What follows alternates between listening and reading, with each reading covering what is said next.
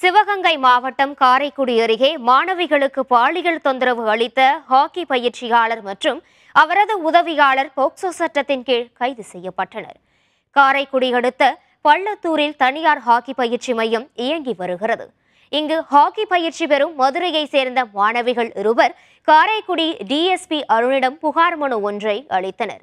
அதில் ஹாக்கி பயிற்சியாளர் சங்கர் மற்றும் அவரது உதவியாளர் கண்ணன் இருவரும் தங்களுக்கு பாலியல் ரீதியாக தொந்தரவு அளித்ததாக அவர்கள் குறிப்பிட்டிருந்தனர்.